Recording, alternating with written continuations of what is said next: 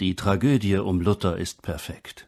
Wäre sie doch niemals aufs Theater gelangt. Schrieb Erasmus von Rotterdam, als auf dem Reichstag 1521 in Worms die Reichsacht gegen Martin Luther verhängt worden war.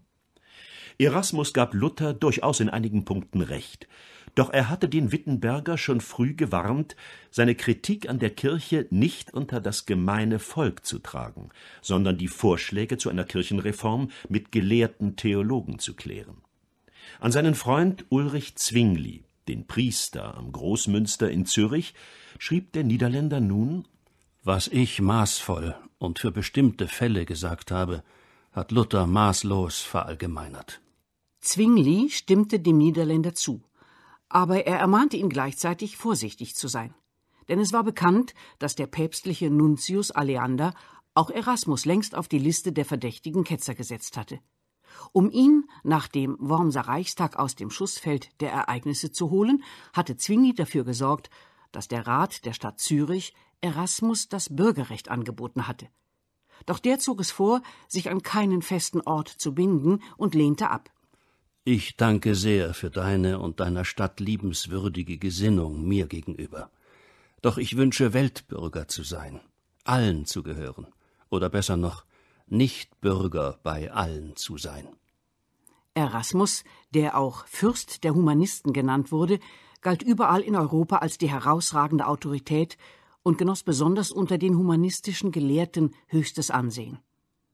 Der Niederländer war der erste Schriftsteller, der durch das neue Medium Buch international populär geworden war. Seine Schriften zirkulierten nicht nur in Gelehrtenkreisen, sondern wurden auch von weltlichen und geistlichen Fürsten gelesen. Erasmus von Rotterdam hatte durch das Studium der antiken Literatur den Weg zu einer neuen Theologie gefunden. Er wollte eine Philosophia Christi, die sich von den kirchlichen Dogmen lossagte und in Christus eher einen Lehrer wie Sokrates sah. Denn die wahre christliche Gesinnung, davon war er überzeugt, betrifft allein das Innere des Menschen und spielt sich auf einer rein geistigen Ebene ab. Jede Form der äußeren Religiosität ist Erasmus suspekt. Rituale und Zeremonien lehnt er als religiösen Materialismus ab. Das Ziel seines christlichen Humanismus ist die Erneuerung der Menschen durch Erziehung und Bildung. Als Christ zu leben bedeutet für Erasmus vor allem eine offene, humane Lebenshaltung einzunehmen. An diesen Vorstellungen des Niederländers orientierte sich auch Zwingli. Auch er lehnte eine von kirchlichen Gesetzen überladene Frömmigkeit ab und setzte sich für ein durch Bildung gefördertes Christentum ein. Außerdem hatte er von Erasmus übernommen, dass die Wirklichkeit in Geist und Materie geschieden ist. Es geht also darum, diese beiden Bereiche nicht zu vermengen. Deshalb ist es die Aufgabe des Menschen, sich des Irdischen und Materiellen immer mehr zu entziehen, um sich dem Geistigen anzunähern. Dazu der Kirchenhistoriker Ulrich Gäbler. Zwingli versteht von daher die Verkündigung Christi als einen Aufruf zur Beherrschung der Leidenschaften und als einen Appell an die geistigen Kräfte im Menschen. In seiner privaten Lebensführung nimmt sich Zwingli nun vor, insbesondere die Zölibatspflicht des Priesters einzuhalten. Doch gerade auf diesem Gebiet musste er, schon für seine Zeit als Pfarrer in Glarus und in Einsiedeln, immer wieder sein Scheitern eingestehen. Ich hatte mir vorgenommen, kein Weib zu berühren, weil der Apostel Paulus sagt, es sei gut, kein Weib zu berühren. Aber es ist mir wenig gut geraten. In Glarus blieb ich ein halbes Jahr meinem Vorsatz treu, in Einsiedeln ein Jahr, nicht länger. Die Ehrlichkeit, mit der der Priester seine unerlaubten Beziehungen zu Frauen zugab, hat ihm nicht geschadet.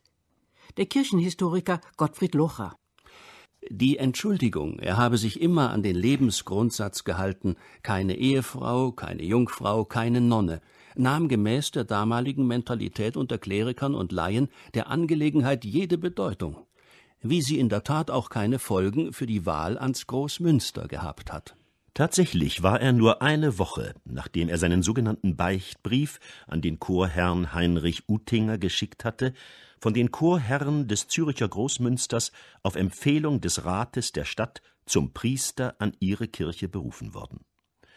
Das Großmünster war damals nach der Kathedrale in Konstanz das bedeutendste Stift im Bistum Konstanz.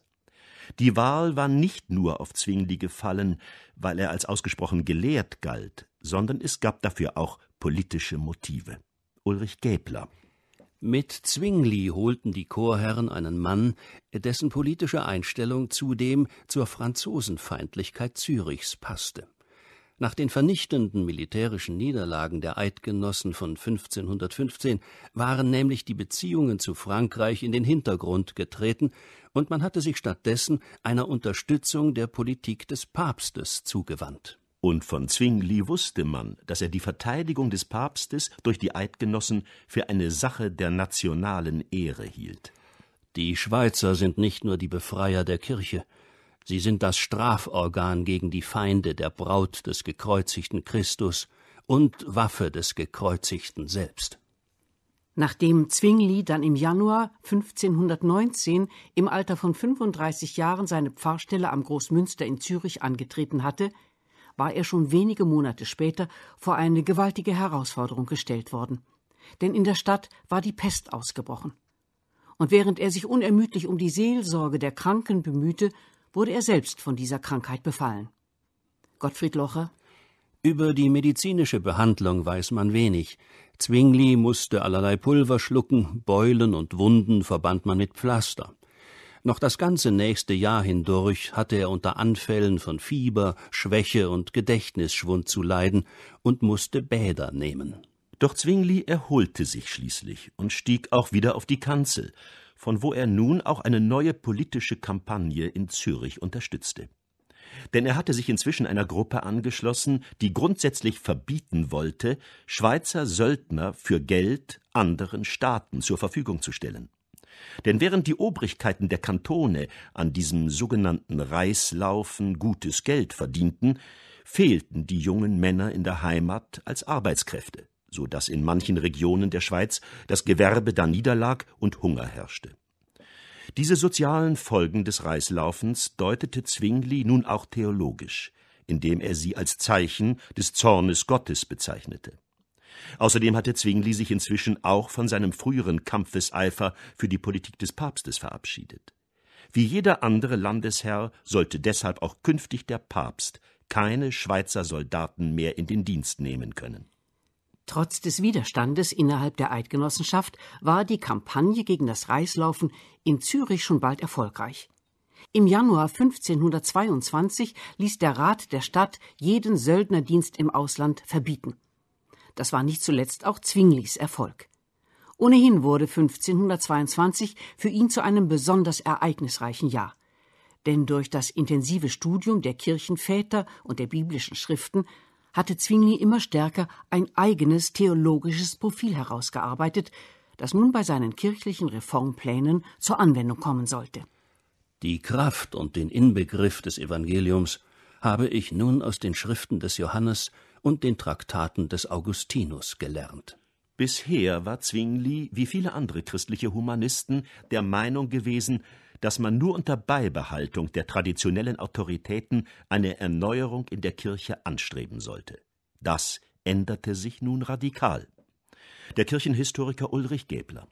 An deren Stelle setzt Zwingli jetzt die reformatorische Überzeugung von der Schrift als alleiniger Grundlage für Lehre und Leben. Die Lehrautorität des Papstes und der Konzilien, welche über den rechten Bibelgebrauch wachen, erkennt Zwingli seit 1522 nicht mehr an. In seinen Predigten übte er nun zunehmend Kritik an verschiedenen Bräuchen und Lehren der Kirche. Er griff die Ablassprediger an, bestritt mit Berufung auf die Bibel die Existenz des Fegefeuers und die Funktion der Heiligen. Zum entscheidenden Zusammenprall der reformatorischen Kräfte um Zwingli mit den Bewahrern der religiösen Tradition kam es dann in Zürich am 9. März 1522. Am frühen Abend des ersten Fastensonntags fand im Haus des Buchdruckers Christoph Froschauer ein demonstratives Wurstessen statt. Man schnitt zwei geräucherte Würste in kleine Stücke und verteilte sie unter den Anwesenden, unter denen auch Zwingli war, der aber als einziger der zwölf Personen nicht mitaß. Dieses Wurstessen in der Fastenzeit war eine eindeutige Provokation der kirchlichen Obrigkeit. Die Vorgänge im Hause Froschauers wurden schnell bekannt. Es folgten andere demonstrative Aktionen des Fastenbrechens in Zürich. Nun war der Rat der Stadt gezwungen, einzuschreiten und begann, gerichtliche Erkundigungen einzuziehen. Es herrschte eine allgemein aufgeregte Stimmung. Auch Zwingli sah sich nun genötigt einzugreifen und Stellung zu beziehen. Da er sich an dem Wurstessen nicht beteiligt hatte, war für viele unklar, wie er das Fastenbrechen beurteilte. Die Antwort gab er in einer Predigt. Aus der Bibel lassen sich keine allgemein geltenden Speisevorschriften ableiten. Deine Seligkeit hängt also nicht daran, ob du gern fasten willst oder ob du gern Fleisch isst. Das ist dem Christenmenschen frei überlassen. Eine Fastenvorschrift zu übertreten, ist daher keine Sünde und kann deshalb auch nicht mit kirchlichen Strafen belegt werden.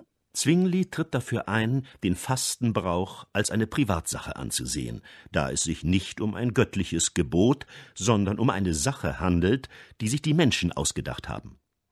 Und als die Verteidiger der Fastengebote den Kirchenlehrer Thomas von Aquin zitieren, antwortet Zwingli nur spöttisch wie kann ein einzelner Bettelmönch wie Thomas denn die Macht haben, dass er dem gesamten Christenvolk ein Gesetz vorschreiben kann? Zwinglis Stellungnahme zum Fastenbrechen zeigt auch, wie sehr er sich inzwischen von Erasmus von Rotterdam entfernt hat. Erasmus teilt durchaus Zwinglis Kritik am kirchlichen Fastengebot, aber er möchte, dass die Oberen der Kirche das Fastengebot offiziell aufheben.